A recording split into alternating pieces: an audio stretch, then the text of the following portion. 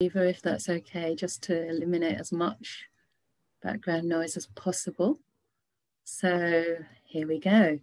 So really warm welcome to this day retreat on patience and forgiveness, which are themes that are very close to my heart, but we haven't really talked that much about before, especially forgiveness. When I was thinking about that as a topic, I realized how enormous it is and how uh, important to freeing up our mind. So, both of these qualities are very beautiful, indispensable qualities, both for our daily life, you know, for our relationships, for our work life, but also for our practice. And um, the Buddha actually said that patience is the highest spiritual quality um, which I'll go into more during the day. But equally, forgiveness is just one of the most important values in our life, you know, that we can have in our hearts. People who hold on to resentment, who hold on to hurt, you know, basically dragging all the pain of the past along with them into, into the present moment. And the present moment can never really be free. So, in a sense, you could think of patience and forgiveness as aspects of the right intention, the second factor of the Eightfold Noble Path, Samma Sankappa. Um, and those three right intentions are basically letting go, nekkhamma, renunciation, giving up, if you like. Yeah. So you can see how that already relates to forgiveness, because with forgiveness, we're letting go of past resentments, recrimination, um, any thoughts of revenge, you know, or just kind of churning up that past again and again. So we're trying to make peace with the past, put it down, let it go. And then the second intention is avyapada, which means basically loving kindness. That's the second right motivation in the Eightfold Path. And of course, with forgiveness, you know, we overcome resentment through the practice of loving kindness. With patience, we learn to open up to the moment with loving kindness rather than trying to push it away or get onto something better or get over what we don't enjoy about the present. We actually learn to open to it with a really wide, soft, embracing kind of attitude, a wide open heart to whatever arises in this present, you know, to our bodies, to our minds. And then the last of these three right intentions is called avihimsaka sankappa, and that means um, the right intention of non-violence, but it also means um, gentleness, like not harming oneself, not harming another. And I think this is where patience comes in because patience is really an aspect of gentleness, being gentle with the moment, not forcing the moment, not forcing your practice, you know, not forcing your mind onto the breath or into the present, but just gently allowing it to settle into that moment. You know, so we're making our minds gentle, we're making them soft so that our experience can be received. And in a sense, it's like when the mind is soft, the breath or the body sensations or thoughts of loving kindness, whatever your main object of practice is, they can soak into the mind. Yeah. When the mind's kind of hard and tight and it's not gentle, it's demanding, then these objects kind of they come to the mind and they just bounce off, right? Sometimes you might have noticed when you're practicing with the breath, you go to it too soon or you're trying to force it and it just it won't stay. It'll come in and it'll just bounce off. It's like trying to put something inside a very hard stone. But when the mind becomes soft and with gentleness, it's like a sponge. It can absorb the breath, and the breath starts to fill up the mind. So we're working with these right attitudes and strengthening those right attitudes. And for that, an understanding of causality is really key. Because when we understand that um, everything that we experience in this present moment is basically um, if you like, a result of everything that went before. Yeah. Everything you've done in your life, all the conditioning of your past, you know, even right down to what you ate for breakfast today, that all manifests now in this here and now. And there's little we can do about it, right? There's very little we can actually do to change it, but what we can influence is the way we respond, the way we relate. So we're always looking for ways to relate to this present moment that lead to a release of suffering, yeah, they lead to letting go of suffering, actually uh, moving in the direction of peace. Mm-hmm. And so, yeah, patience really helps us to foster peace in that present moment by overcoming the craving, overcoming like this tendency to lean forward, to lean with expectation towards something better. So it helps us to just simply arrive in the present. And through understanding this causality, you know, we, we learn not to blame ourselves. We know not to blame the situations we're in, but we develop this sense that a sense of non judgment, understanding things have arisen due to causes and what I can do is just see how I'm reacting to that right now. This is where I can make, if you like, um, new good karma, right? Because karma really means intention. It is also an action. And we can always make good karma with whatever we're experiencing now. So I like to ask myself, you know, no matter what's arising, like, what is the kindest thing I can do with this moment? And of course, that includes patience and forgiveness, being patient with it, being forgiving. It might not be quite what you want to arise in this moment, but we can forgive the moment's imperfections. Yeah. And in that way, we become more open to seeing it as it really is, rather than pushing it away or trying to make it different. So, what is patience and how does the Buddha define it? We'll go into patience a little bit this morning. Uh, this afternoon, we'll go a bit more into forgiveness. Of course, the two overlap. But patience, as I said, is an aspect of um, non harm, it's an aspect of being gentle with the moment. And uh, the Buddha said, Kanti paramam tapo which means patience is the highest of the spiritual qualities. And I think it's important to say that patience doesn't mean tolerance, it doesn't mean endurance, you know, gritting your teeth and kind of, you know, just trying to withstand whatever affliction or difficulty has arisen. And it's certainly not enjoying things in the hope that they'll change. You know, I'll do this meditation so long as I feel better by the end of the day, right? Or I'll, I'll give this Dhamma talk so long as people give donations at the end. That's not patience. That's not giving, actually. That's uh, expecting something in return. So we don't stay with things to endure them in the hope that they'll change, but patience is more like actually approving of the moment. In the um, ordination procedure, when a bhikkhu or a bhikkhuni uh, take the full ordination, they enter into the sangha, the monastic sangha, and the sangha actually receive them saying um, kamati. It means the sangha um, consent or approve of the candidate. And the word kamati is related to kanti patience. So it's something much more soft, much more gentle than endurance or even even tolerance or even patience in a sense. It's more like a consent, an approval, even a welcoming, right? Even a welcoming, and not only of the perfect candidate, but a welcoming no matter who you are. And at the same time, the teacher who ordains you has this immense patience and the wisdom to understand that you know, they don't just ordain you and leave you to your own devices. They're patient enough to allow the Dhamma to work on you. You know, they don't push you to pro- progress. My own teacher, Ajahn Brahm, has infinite patience. You know, one of the nice similes he uses is like um, like a tree growing in the forest from day to day, you don't think anything's happening, right? You just look at the tree, it's the same size. Even the plants, sometimes you don't really see them growing, especially during the winter, because it's not the right time for them to grow. But over time, you start to notice that, gosh, the trees really have grown. And it might take 10 or 20 years.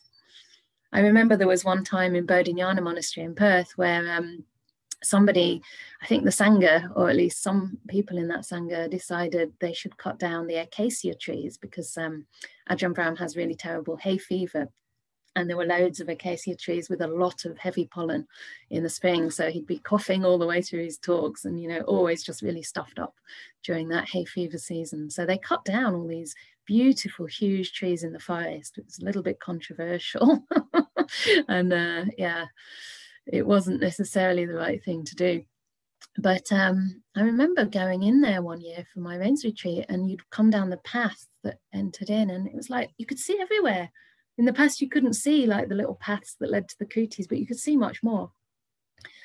But over the years, going back again and again, bit by bit, they're starting to grow back. You know, they planted loads of trees, of course, it, probably more trees, to be honest, than uh, than were there before. But over the years, they start to grow and fill up the forest again, and the forest starts to look really lush and really fresh.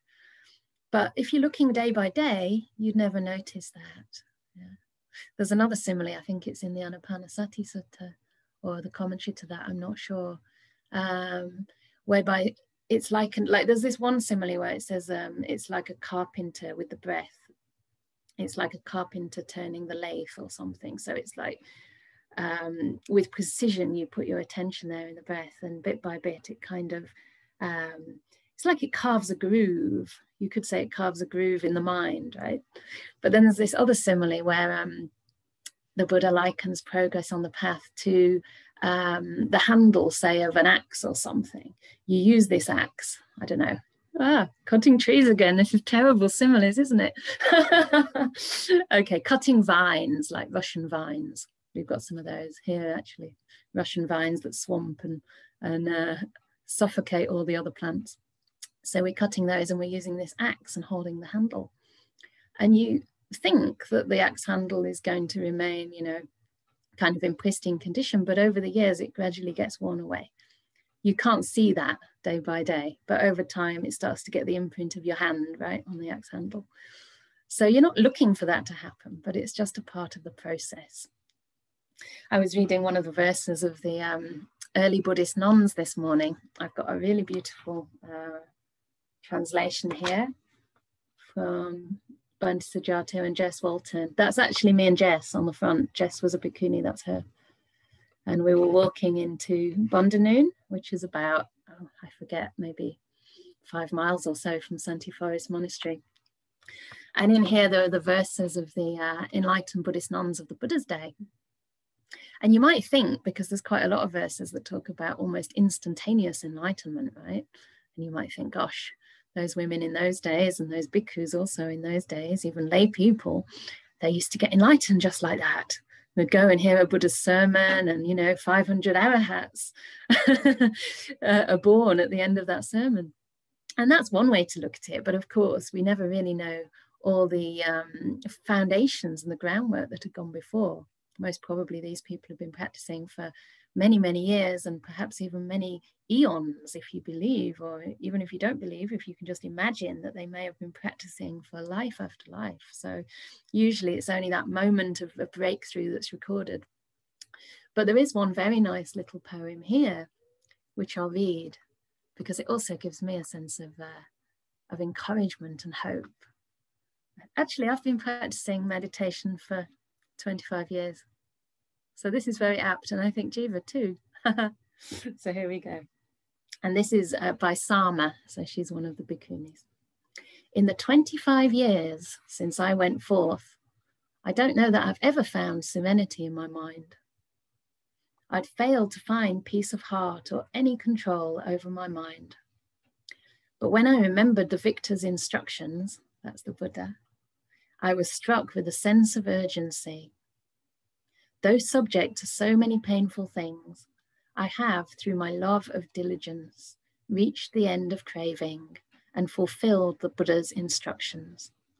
This is the seventh day since my craving dried up.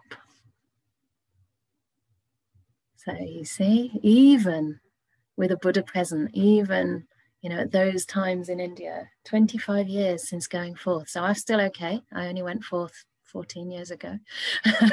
And i have had some peace of mind. So so we're all doing well. If we can get some moments of peace maybe some you know hours of peace. But we don't ask for very much because we really don't know when this process is going to come to completion. It's not up to us. It's up to nature.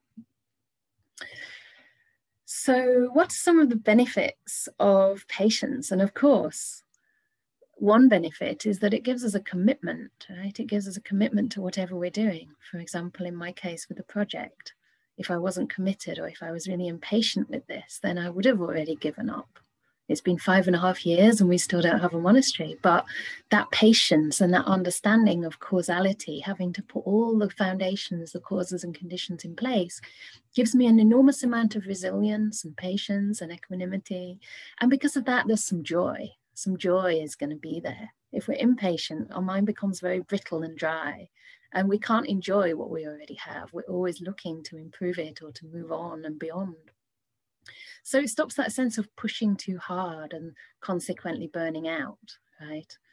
I often work at my maximum capacity, as I'm sure many people do, you know, and many of us have very busy lives, very demanding lives, whether within the family looking after someone who's sick or even dying, or whether we have businesses or companies or, you know, we're teaching. I know one of our community had to teach uh, all her classes over Zoom during the uh, pandemic, which I'm sure is not unusual. And it sounded really tough. She actually said that um, in some of the classes, everyone had their videos turned off.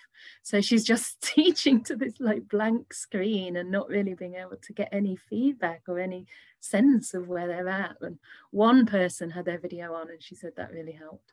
But yeah, you know, this was making a lot more work because then you would have normally in a class you can address all their concerns there and then, but it was creating lots of work after the classes by email and and all the other things. So, you know, we really have um, a lot of work. And I think modern society just becomes increasingly demanding and pressurized. Um, but this patience allows us to know that even if we work at our limit a lot of the time, we have to take rests. There's, we also have times in our life where we just say, okay, I just stand back now and rest. Yeah, without fear of losing the progress, losing the momentum, but just understanding that when we're more resourced, things become much easier, much clearer. We can see the way forward, we can make decisions. They're often decisions or the answers to questions just come in your mind when you're resourced. So the mind becomes bigger and brighter, we learn more, we're open to more. Yeah, things that look like mistakes, we can see them as opportunities, opportunities to grow, opportunities to learn right? And I think most importantly, just being open to the path in particular as this process, rather than something with um, which is too goal oriented. So instead of making enlightenment our goal, we make our goal how to make peace with this present moment that's arising right now. Our goal, if you like, is to put the causes and conditions in place wisely, with wisdom, with discernment for the future, for the effects that we'd like to see happening in the future. And we can always test that by looking does this lead to a release, to a softening of suffering, or does this lead to more tension, more stress? Yeah. You know, the Buddha said that it's the Dhamma when it leads to disentanglement, when it leads to putting things down, when it leads to peace, yeah, to disengagement, and ultimately, of course, to Nibbana.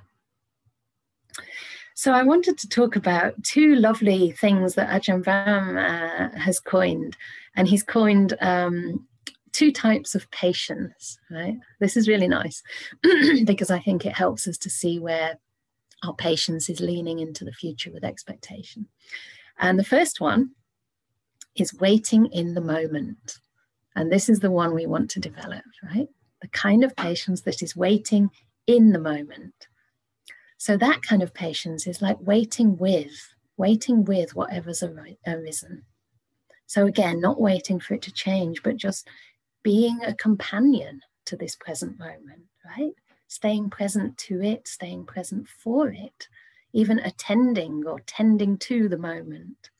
Yeah like a waiter in a restaurant would come and look after the people in the restaurant looking out for their needs looking out for what they can what they want or when they're ready for the next course. We tend to the moment what does this moment need right now? Yeah how can i just relax into it and open up to whatever's arising with a soft and gentle patient heart? And that kind of patience has no time limit right?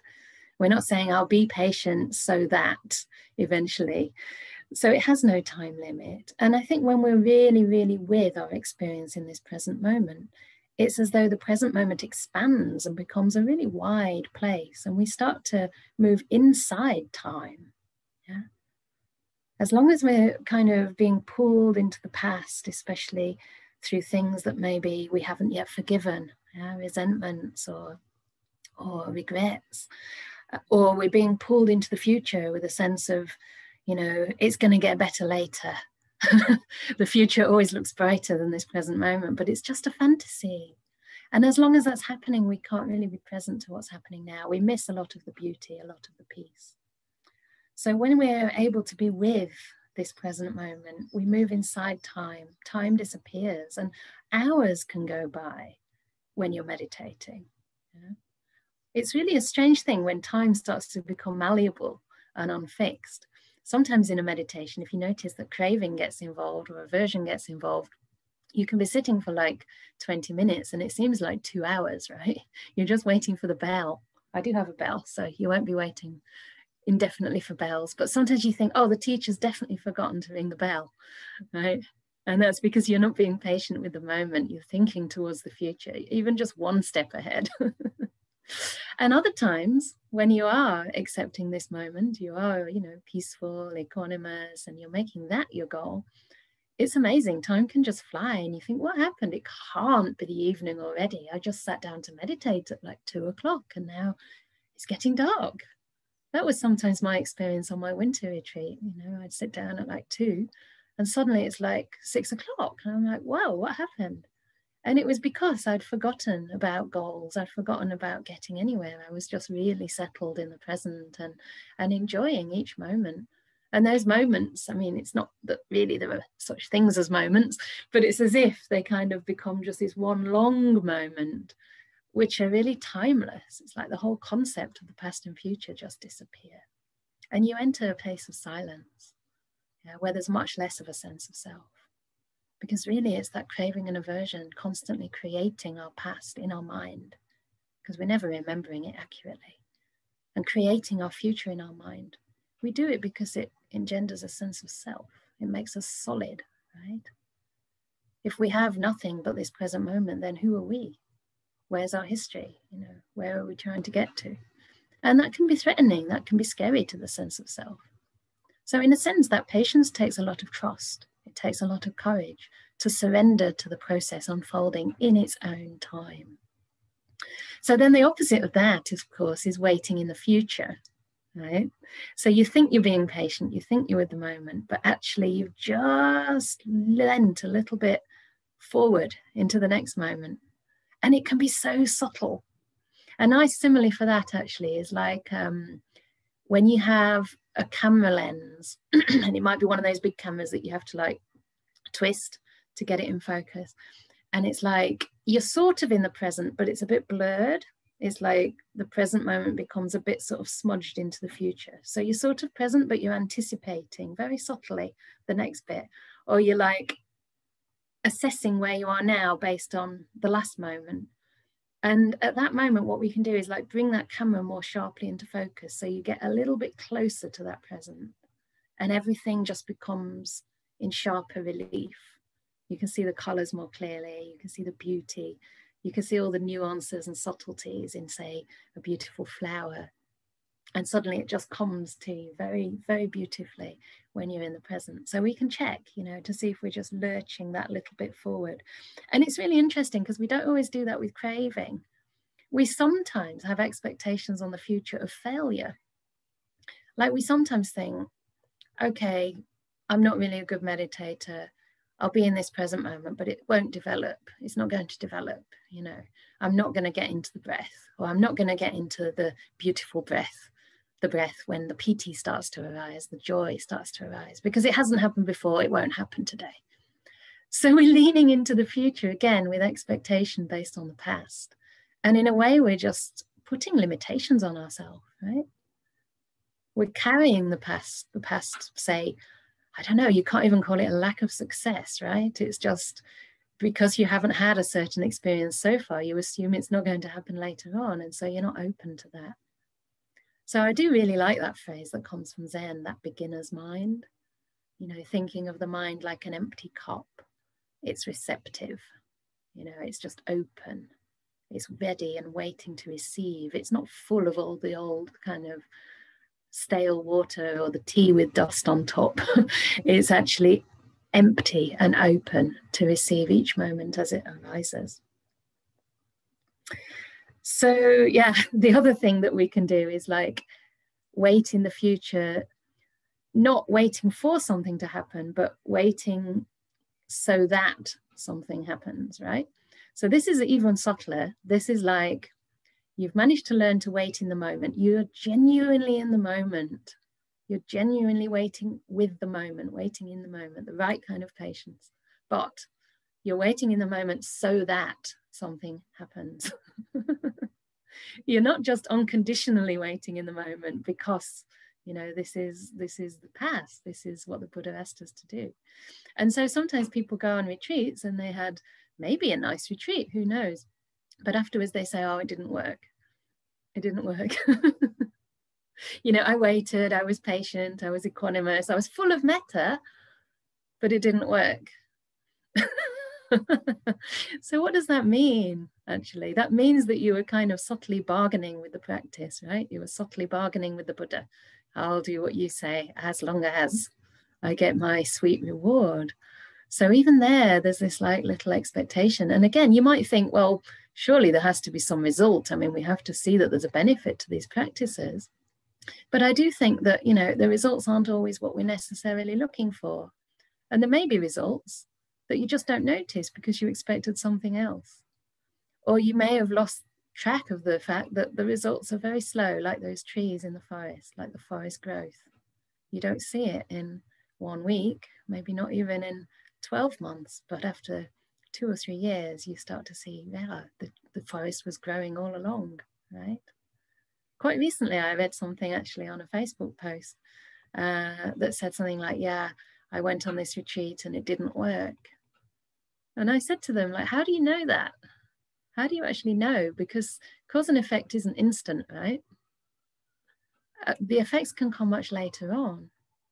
And even when we're meditating, for that moment, you know that you're not committing wrong actions, right? You're not committing wrong speech. You're not doing anything to harm others. So at least out of body, speech, and mind, you've got two thirds down, right? you're purifying your body and your speech. Of course, mental speech is another thing. We have to learn to purify that as well, the way we talk to ourselves. But basically, you're already making a lot of progress just by stopping uh, the kind of grosser cravings and aversions that arise in the mind. So again, I like to ask myself, you know, what would, how would I relate to this moment if this moment was all I actually had? If this was it? If this moment was all I had? Would I be able to see the beauty? Would I be able to accept this moment? you know, allow myself to open up to this moment just as it is. It would make a change, it would make a difference, wouldn't it, if this was the only moment we ever had? And the thing is, one day it will be the last moment. We actually don't know when that last moment comes. It could be, you know, in 20 years or 40 years. It could be next week. It could be today, in five minutes the Buddha actually said that when we practice the recollection of death and dying, it's not to scare our minds, but he said that, you know, even thinking that I could die tomorrow is not the right way of practice, because the fact is you could die within one breath. This could be the very last breath. Yeah. Or he said, you know, this morsel of food you will be eating later, not now, I'm afraid. But this morsel of food that I'm eating now could be the last breath. So we're not even thinking about the next morsel on our spoon. Right? How many times are you eating and like you're still chewing that morsel? Or maybe you've just put that morsel into your mouth and you're already collecting the next one on your spoon. I do it too when I'm like busy or in a rush. And then I remember, wow, okay, I already have a morsel in my mouth. Like, can I just chew that properly and, and really appreciate the fact that I have this beautiful, nourishing, warm meal? So, all these different ways of being patient are so helpful on the path. And the thing is, you know, you can think, well, this moment will be the last moment, this could be the last moment. But in a sense, it's always the only moment that we have, right? Because the future can only be a reality when it comes into the present. It only actually exists. Anything only actually exists in this present. The rest is just fantasy and memory, which is distorted. I spoke to one of my best friends recently, and uh, we went to school together from the age of four. And I'd remembered an incident at school where it was quite a kind of controversial incident because I'd remembered that there was a naughty person in the class who was always making trouble. And the teacher at one point had uh, decided to put a box on his head, like a cardboard box, kind of to humiliate him, I guess, but also so he wouldn't speak and disturb the class. And we all thought, of course, it was hilarious. And I was quite convinced it was our English language teacher, who was quite an eccentric character, um, even though he's a very, very good man, right? And I know this kind of thing nowadays would be quite controversial to say the least, maybe abuse. Maybe you could see it as some kind of abuse. But I was speaking with my best friend and she said, No, no, no, that's not what happened. He couldn't have done that because that boy wasn't even in the class, in his class. Like he was teaching in senior school and this other incident happened in junior school.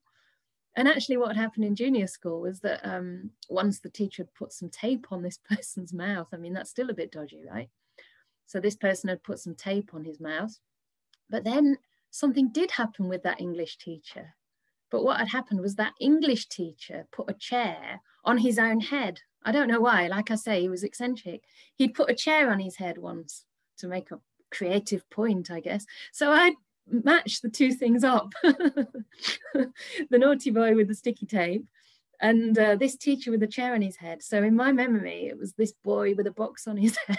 it's just a crazy example, but I found it really quite telling, you know, as how we can be so sure and actually have a lot of details kind of very vague and then all mixed up. And that's often what happens, isn't it? And then we create all these stories and even resentments and grudges around things that actually never happened. Maybe we're holding grudges towards people who never said what we think they did. It was actually someone else who said it or did it, or it happened to someone else, even, right? In a sense, it did happen to someone else because we're not that same person anymore. And they're not that same person anymore. We're always changing. You know, we're just five khandhas the body and all the mental aggregates, yeah, perception, feeling, consciousness, and will. And all these things are arising and passing, changing all the time. So, how can we be angry with somebody else's consciousness or somebody else's perception that happened, you know, 20 years ago? They don't have that perception now. Maybe they never had that perception. It was just your perception of their perception. so it becomes kind of ridiculous to hold grudges and to feel ill will when we think in this way. So we learn to wait in the moment rather than wait on the future. And the way we can do this is, of course, to start off the path with a very strong foundation of sila, because by practicing ethics, ethical conduct, you know, kindness, non harm, patience, forgiveness in terms of our body, speech, and mind, um, we're eliminating future causes for regret, for remorse. Yeah, we're eliminating the harm that is possible to perpetrate through body and speech, particularly, and the harm that we inflict on our own mind with uncharitable thoughts or impatient thoughts, unforgiving thoughts towards ourselves. So this sila becomes a foundation. And then the Buddha says the first step in the practice is to establish mindfulness as a priority. So we establish this sense of knowing this awareness in the present moment with a sense of patience, waiting in this moment, yeah, arriving in this moment, and arriving with a good karma attitude. So we arrive in the moment, but we arrive with loving kindness, with non ill will, with a sense of letting go, making peace. We arrive with an attitude of patience, an attitude of forgiving whatever faults we find in that present moment. Yeah. So we change our attitudes and perceptions of, for example, what it is we need to develop on the path. Maybe you think you need a better body or better health. Maybe you think that, you know, it's not going to work because this is your first meditation. You needed to have been practicing many years ago. It all came too late in your life. These are just concepts, you know. What you the only thing you need is this present moment and the right attitude with which to meet that present moment. It's a learning curve, right? We develop that right attitude through cause and effect, through looking at, you know, how is the way that I'm relating to this moment affecting me? Where is it leading me? Is it leading me to peace or is it leading me to suffering and stress? And then we learn to understand that none of this belongs to a person, none of this belongs to us whatever we experience is simply a product of causes and effects, causes and conditions manifesting in this moment right now. It doesn't belong to us because we don't have control over it. The Buddha said in the Anatta Lakkhana Sutta that if this was belo- if this belonged to us, if our feelings, our emotions, our physical sensations belong to us, then we could say, may those feelings be this way, may they not be that way. But because it's not a self, because it doesn't belong to us, we can't do that. Yeah. And so the implication of that is that we stop trying to control. We're, we're just more able to let things be and to actually have this attitude of opening up with curiosity, with a, a willingness to learn from the moment. And then another aspect of um, wisdom, understanding, of course, that none of it belongs to us, you know, that it's just like nature, um, arising due to causes and passing away when those causes pass away. And also the fact that things do change, right? I remember Ajahn Chah had this little phrase he used to say to people who were upset or angry. He said, just sit down with a clock in front of you and time your anger, see how long it lasts. because there's definitely going to be a start and even maybe a culmination, like a, a stage where you just, uh, you know, and then bit by bit it's going to start to calm down and pass away. So sit there with a clock and time it.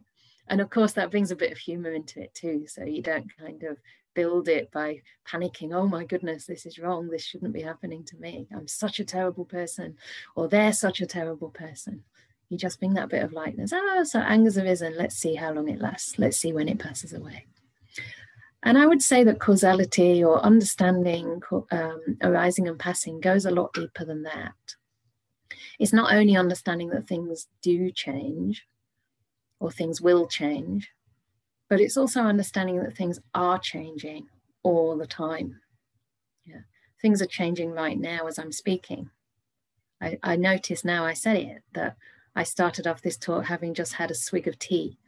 And now I can feel that my mouth's a little bit dry. So my body has changed through this last, you know, half hour or so. Some of you might also have noticed changes. And as soon as you start to contact these feelings inside yourself, you can notice that there's always like a, a constant change happening. There's a constant change happening, and we need a different response. So we don't become rigid. Yeah, it's like you might have started meditating in one position and that position doesn't work. So you might want to shift or alter. Or sometimes, you know, you're observing the feelings in the body and you think, oh, this is uh, getting really intense. Maybe I have to change my posture. But sometimes you can just look a little bit more closely at that intensity and you'll see that it's actually quite interesting. There's also some heat, there's also some throbbing or some pulsing. You know, it's actually all in a flux, in a flow. It's not a solidified feeling. It's something that's, you know, literally just in process as we speak. Yeah.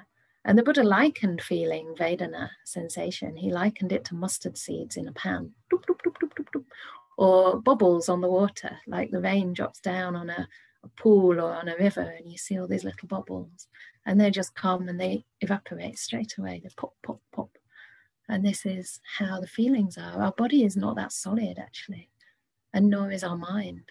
So when we have like that very soft, patient, gentle mind, again, it becomes like a sponge. The body becomes like a sponge, and we can actually see and allow a lot more movement. We're not clinging to things and solidifying things in our mind. So there's a lot more I could say about that, but I don't want to overwhelm you right at the start of the day. So I think it might be nice to have a little bit of practice now